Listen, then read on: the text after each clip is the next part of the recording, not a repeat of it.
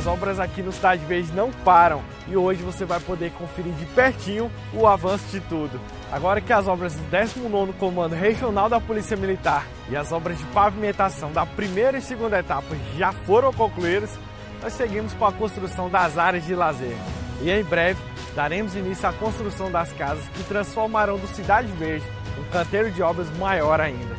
Afinal de contas, as nossas cidades não param de se desenvolver. Viu só? Invista agora e ganhe muito em valorização no futuro. Cidade Verde, incrível por natureza.